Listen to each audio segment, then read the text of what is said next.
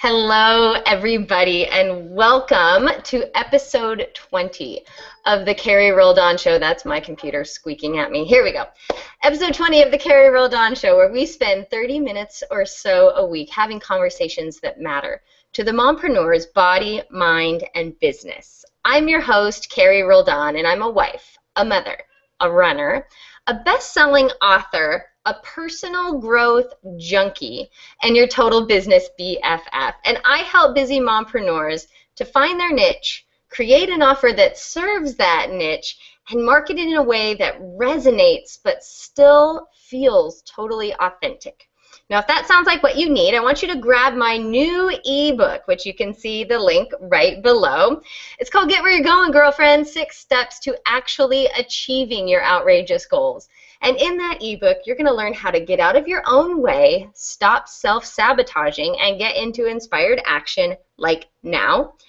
The three missing steps in the ask, believe, receive manifestation model, and how and where to get the support you need to create the life and business that you dream of.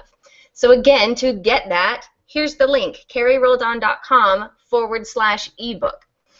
Okay, so I created the Carrie Roldan show, as many of you already know, because I have stumbled and continue to on my entrepreneurial journey. You guys are going to see that like live and in person today. uh, because the road to success thus far has been full of potholes, detours, and dead ends. Not to mention self doubt, fear, worry, marital tension, and personal struggle. And I wanted to share what I continue to learn on my journey in the hopes that it's going to help you guys too. You guys, I told you, I'm your business BFF.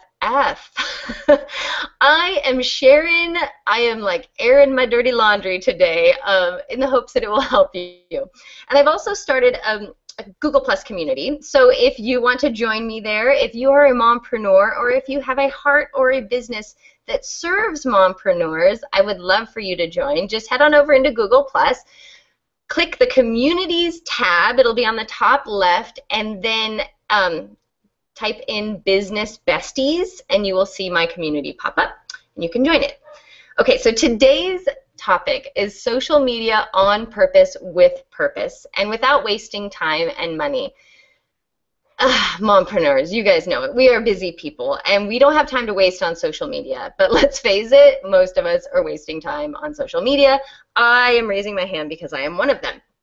I know I need to have a social media presence to build my business, but it can often feel like a double edged sword. Social media can be such a time suck and which platform is best for my needs.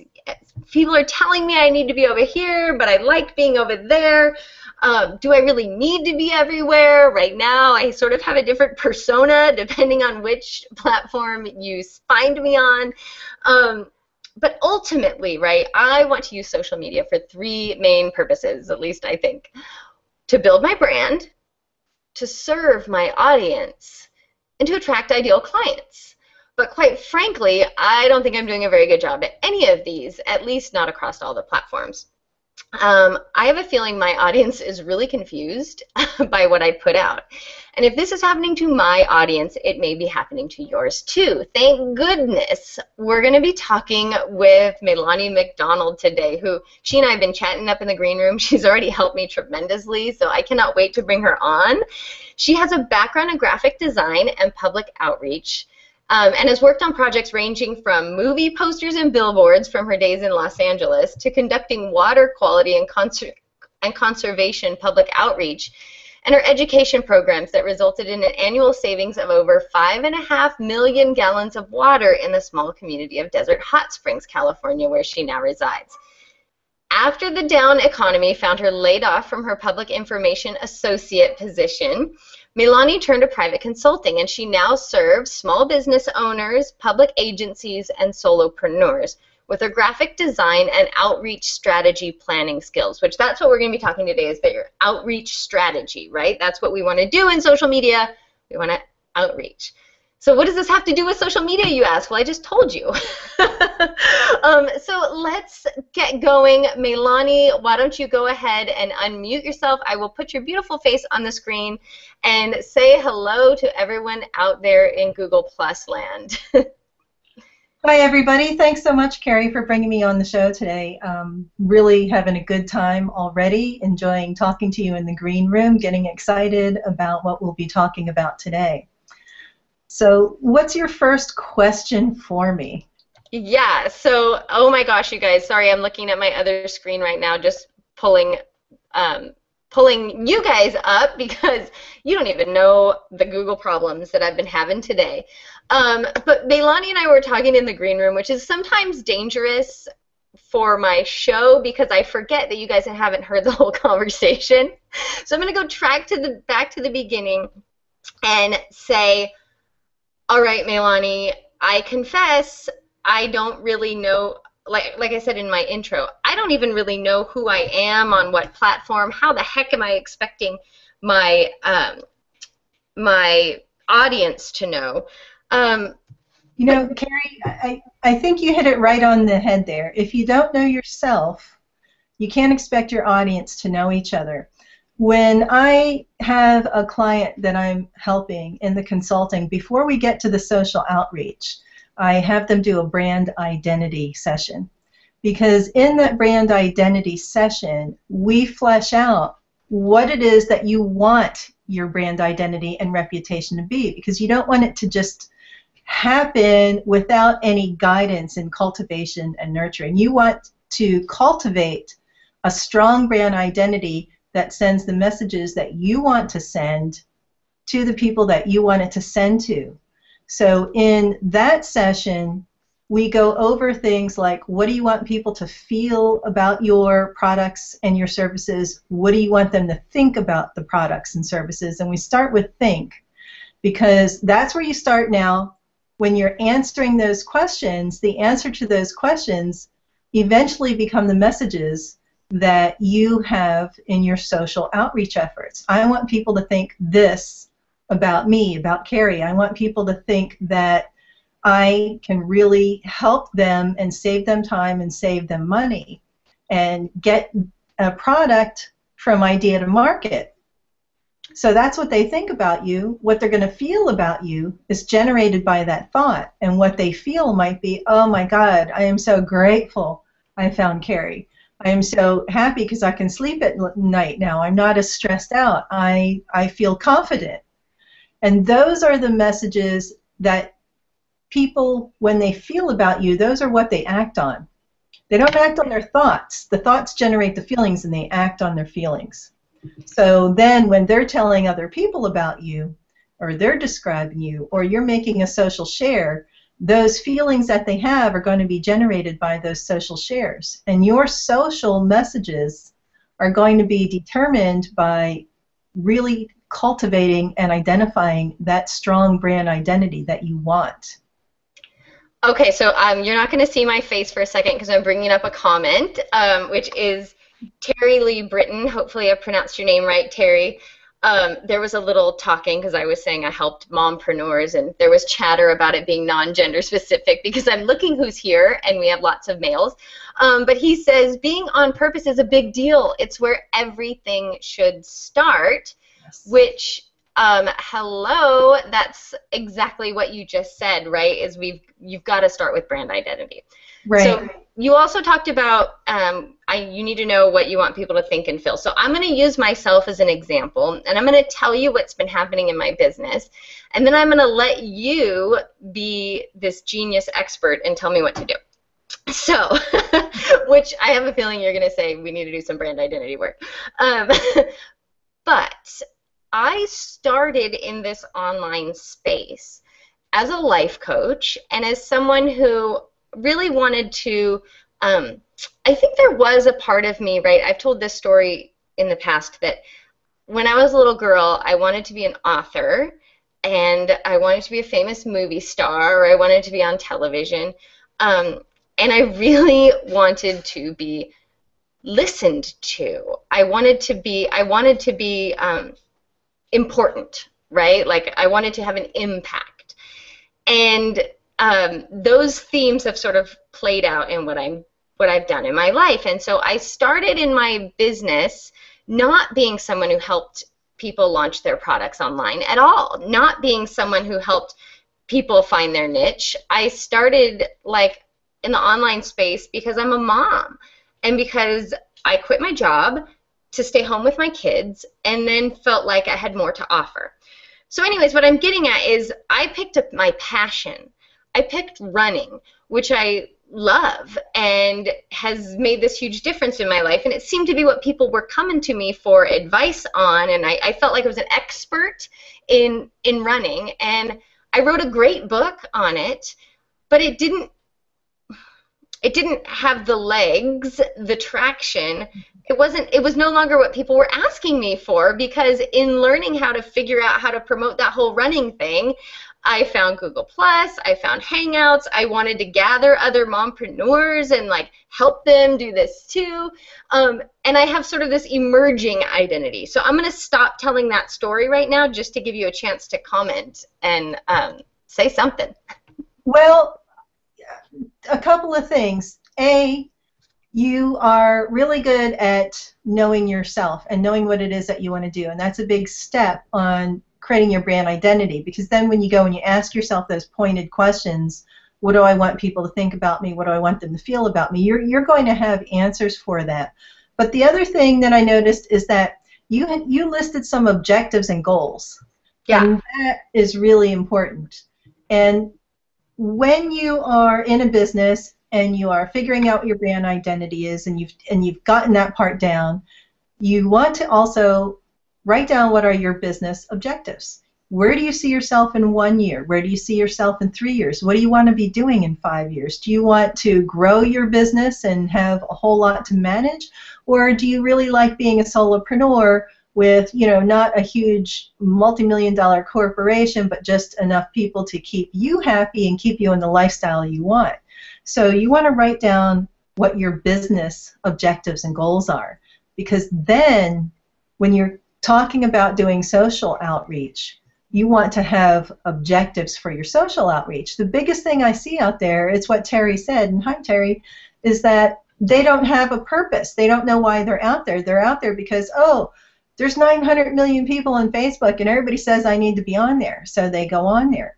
But they don't really know why they're on there. They haven't done their brand identity thing, so they don't know what messages they want to send. They don't know why they're sending their messages. They don't have any goals. So for the social outreach stuff, you want to you want to create those objectives, and those objectives have to support your business objectives. So in your case, you you went from wanting to talk about running to realizing that this experience of getting that book to market made you realize that hey i like sharing my knowledge of how i made this happen with other mompreneurs who have something that they want to take to market right so your identity kind of changed a little bit there and it's not so much the running person as it is the the the guide, the guide who can show you how to do step A, step B, step C. You are the you're the you're the coach, you're the consultant, you're the guide, you're the person that can take them to market and cut out a lot of the stuff that you had to go through learning.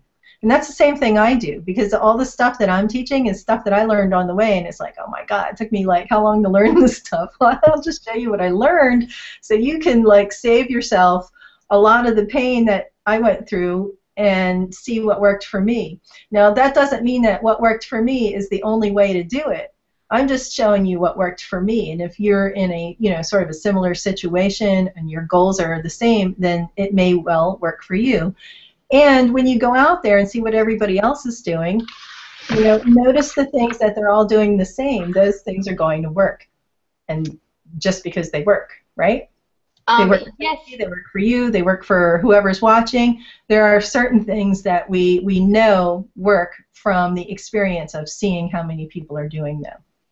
Yeah, and it's funny. I put myself on the screen. I realize people are watching me smile and nod to you. And also, yes, I'm taking notes, like frantically taking notes while Meilani is talking, recognizing this is why it's so important. No matter what you do, like no matter if you are, I feel like you are doing for me what I'm very good at helping other people to do, but it's so, for some reason, it's really hard for us to do it to ourselves. Oh, oh, God, I know. I suffer so much from the do as I say, not as I do syndrome. yeah, and I'm looking at what Marcus says, and I, I want to pull it up because he says being clear about who you are and bringing that into alignment with your business is a difficult process, especially as a lot of people don't even know who they are and what right. they stand for. Right, and and that's so true, and that's that's why I actually made these worksheets because and it's always really helpful when I kind of coach people on going through the worksheets because I ask them the, the prompts and the questions, and they're all, hmm. And by the end, you have the stuff inside you, but you, you don't know it and you're not sure how to organize it. What these do, this series of questions are they're in order, they're pointed, they're strategic, and they bring what's inside you, all that knowledge, out into a form where you can put it down on a piece of paper, then you can look at it and go, ah, oh yeah, okay, that totally makes sense now. I can see it. I can see how to get from point A to point B, where sometimes we're at point A, point B is over here. This is everything I want. How do I get here? I have no idea. Well, you know, this kind of gives you a guide of how to get there from point A to point B. And it goes back again with, with the social outreach. It's it's your objectives, and then goals, and then action steps. It's a three-step process because okay. your objectives can be kind of broad. You know, so one of your objectives, let's say, is I want to cultivate my my new brand identity. Well, that's kind of broad. How are you going to do that? So you break it down into bite-sized chunks and create goals. So your first goal might be, I'm going to take Meilani's brand identity workshop because then I will know what my brand identity is that I want to nurture and that I want to cultivate and that I want people to think of when they think of me, right? So that is a goal that is a, a bite-sized chunk, and when once you have done that single goal, you are a, a step closer to your objective. And you may have several goals that you lay out. So I just muted myself briefly because there was a helicopter flying overhead. Um, but I want to. You've mentioned this workshop a couple times, and when we were in the green room, Meilani told me what she was going to choose to offer you guys in my audience, and like no kidding, I about fell off my chair. So I'm really excited to let you know um, an offer that she has about that workshop. But before I do that, I need to tell you what I've already learned today, right? So um, what I think the biggest lesson for me is recognizing that social media strategy doesn't start with social media strategy. That um, before, ooh, and Terry, sorry to cut you off all of a sudden, but Terry's asking where the checklist Meilani is talking about. Terry, I promise to answer that in just one sec. Um, so what I've learned is that you said something in the very beginning. You said, until you know your business object objectives, you can't really know your social media objectives. And so what I'm recognizing in my own self is that, oh God, I'm doing it. I'm doing what I tell people not to do, which is like, I'm focusing on social media, on becoming known because I feel like, ooh, I need to have a lot of people following me so that when I figure out what it is I do, they're going to want it. Um, not recognizing, of course, duh, until I really know what I want to do, I'm only going to be gathering people haphazardly. Until I'm very clear on um, who I want to help and why I want to help them and what I want to help them do, um, no social media strategy is going to work, right? No matter how awesome and entertaining I am, people might tune into my hangout, but unless I'm clear on what it is I have to, um, who I want to be in their eyes and what I want them to think and feel about me, they're just going to think and feel, well, she's awesome and entertaining, but um, not take that next step. So that was a huge thing that I've already learned was before social media strategy, business strategy.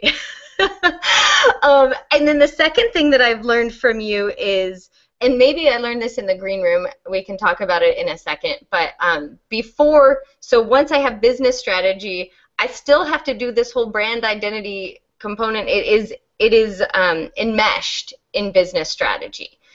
And so before we move on, because we only have like 10 minutes left, and I do want to talk about the different platforms and and it's so easy to get overwhelmed in the whole monkey see monkey do thing um, but could you let people know what your amazing offer is for the people watching this hangout Yes, I am doing a workshop next Tuesday, the 24th, from 9:30 a.m. to 11:30 a.m. PST.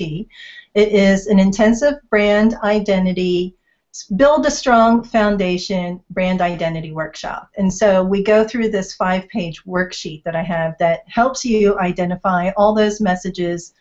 What do you want your customers or potential clients to feel? What do you want them to think? How do you describe your goods in terms of benefits to them versus just in terms of here's what I think about it? Because that's another trap that a lot of people can easily fall into my widget is so shiny. It, it's made from the newest alloys imported from, you know, Japan and it's really cool. Okay, that's cool, but let's say this instead. If you use my widget, I can cut your housework time in half and you'll have more time to spend with your family and kids. Buying yeah. it. I'm buying it. yeah. Which one is going to make the sale? Right. So you need to learn to describe things in terms of lifestyle benefits and benefits to the clients and benefits to the customers. We identify who are the people that are going to be your target markets and audiences. Because a lot of time people just go out and they just think, I just want to everybody. I just want everybody. But you know, no, really don't just throw your seeds out to the wind and let the wind carry them where they may. You know, you want to find that little plot of land that's got a sufficient water supply, that's got the sunlight, that's got the good soil, and put them there. So find the people that already want your services. Find the ones that already need your services. So we identify some of those markets. Who are the people that want your widget that cut the housework time in half? Well, who's doing most of the housework these days? You know, and, and then that becomes a, another goal do some research. Who is my market? Let me see today who is doing most of the housework because, you know, in the 50s it would have been the woman. Today, especially in the past decade when there were so many layoffs and so many people going into business and so many mompreneurs, I know a lot more people who the the husband in the household is the one who does the housework. So so that's, you know, your action step. Do the research, find out who it is that you need to talk to and then craft the message that's going to resonate with them. Again, that message in this example is I'm going to cut your housework time in half. Another message is you'll have more time to spend with your family. Another message is don't miss your kids growing up because you're too busy doing other things. So we start to craft these messages that are important to them. And then later on, when you're doing your social strategies, here's all these great messages that you have ready to put out into social avenues that you've identified that your target audiences are watching. You know, once you've identified your market of the people who are doing the housework, well, where are they going? Where are their eyeballs? Where are they going to see your messages? So you mentioned talking about being on which platform. You don't have to be on every platform just because it's out there. And especially if you feel like you're wasting your time on it. I mean, I just got rid of my Facebook public profiles completely. I just got rid of my business ones because I felt like I was wasting my time. Now, am I saying Facebook is a waste of time? No. There's a lot of people that use it really well and it works for them. But I'm saying for me, it was a waste of time and left me frustrated. and you know, I'm like you. I like Hangouts. I found this great platform on Google Plus. I really love it, and that's where most of my focus is, and that's where most of my returns come. I also enjoy Twitter, and I, I, I don't like LinkedIn that much, but I recognize the value of it, so I go on there. And so, Meilani, I'm sorry to cut you off, but I want to take a step back to your workshop. oh, oh, gosh, I'm sorry. So yes, there is a link.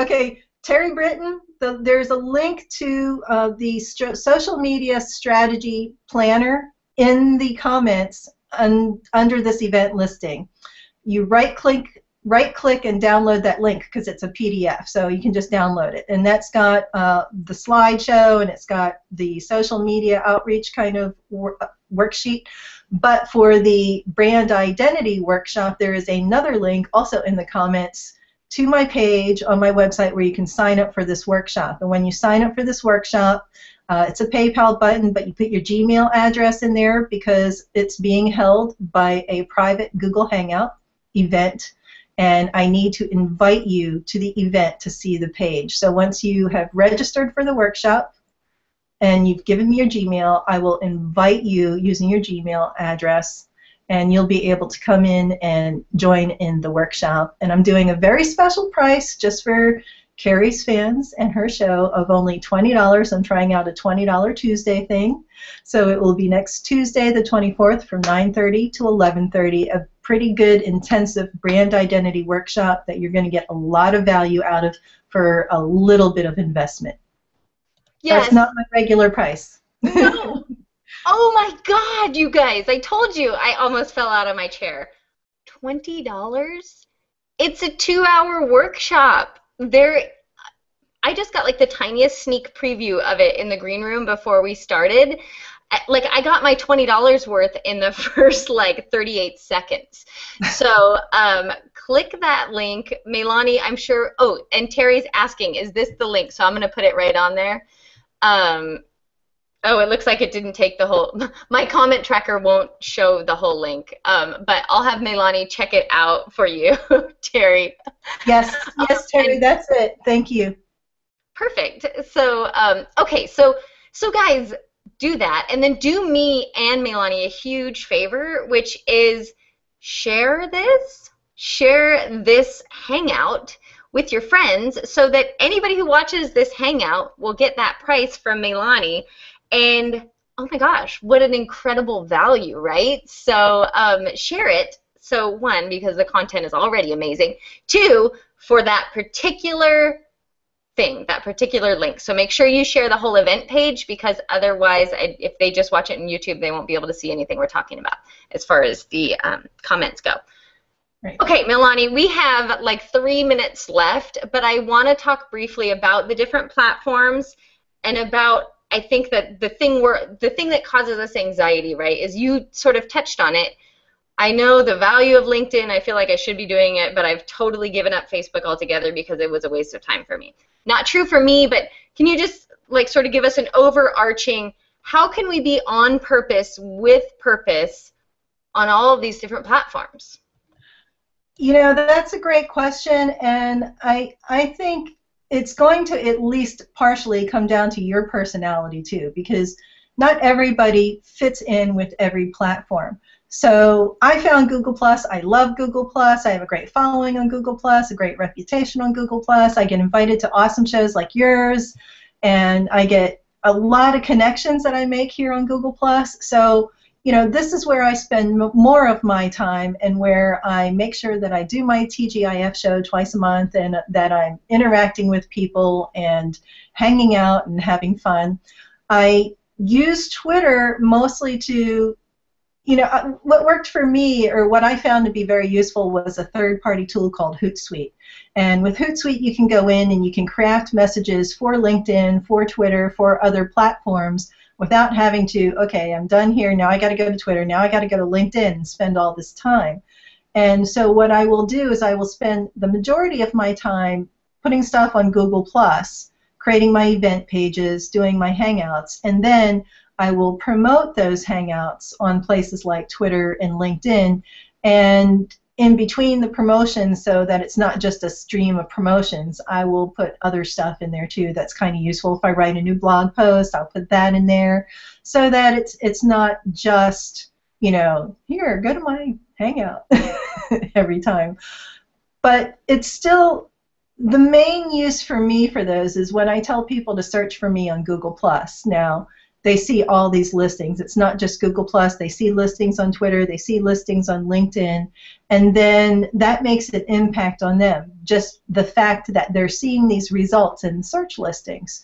So even if I'm not getting the same kind of impact out of LinkedIn and out of Twitter that I get from Google Plus, it still adds to building that reputation. It still adds to building that awareness. It still provides links back to the other places where I am more prone to spend extra effort.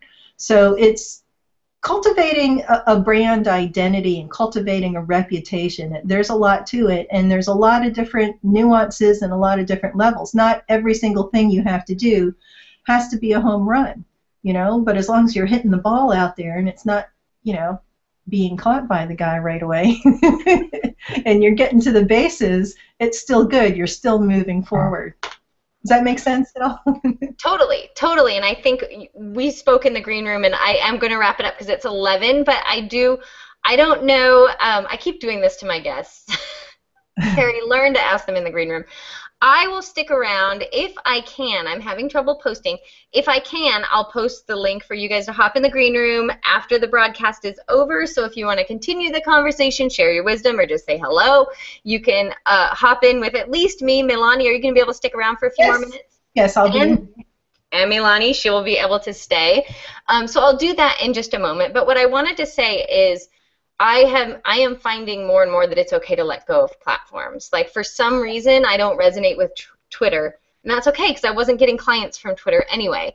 And with Facebook, I'm learning my activity on Facebook needs to be really targeted to a couple of groups where I've cultivated a presence, where people know me, where like it's not all about just look at me, look at me, here I am, look at what I'm doing, like but it's very much my my interaction in Facebook is just in a few places. Um, and I think that has helped a lot. And then, like you said, I'm too. I'm finding a home on Google Plus um, because Google Plus is so much about. Um, I feel like it is about listening and learning, and that's the things that I things that I love to do. So.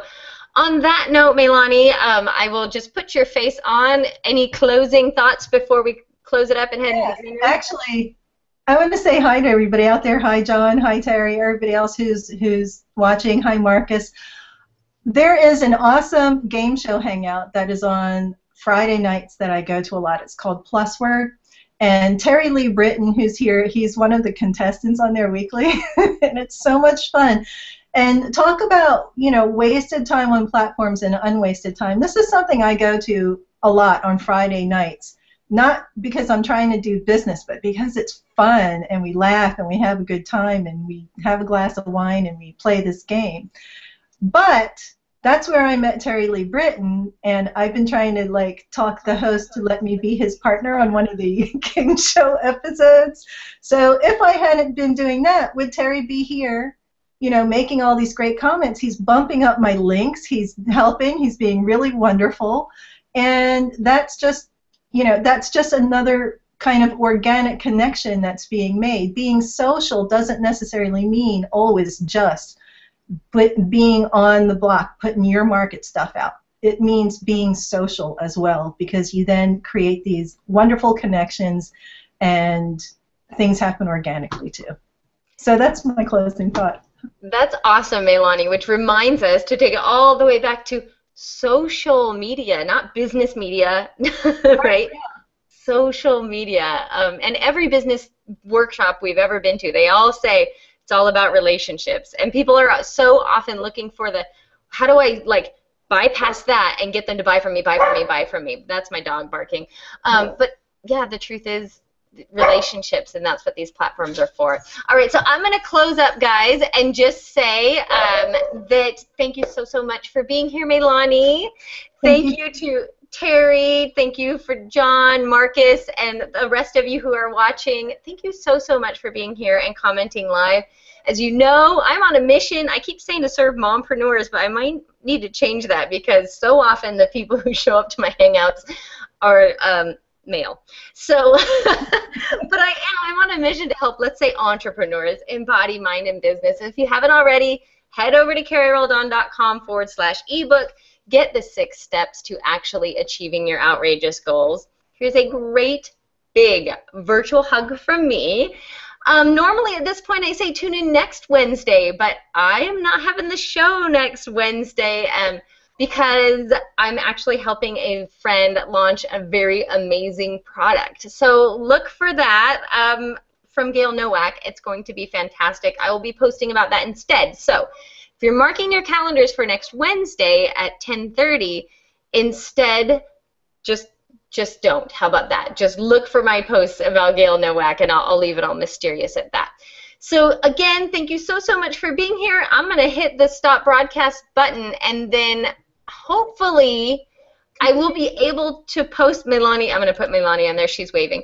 Um, hopefully I will be able to post the link. I've been having trouble posting on my event page, but either Meilani and I will post the link into the green room so that you guys can join. So thanks again. I will see you not next Wednesday, but the Wednesday after that.